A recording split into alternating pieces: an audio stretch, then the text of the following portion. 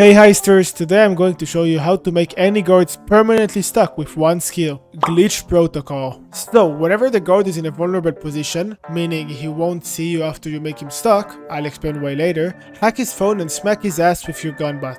Then quickly get out of dodge and watch him become permanently stuck.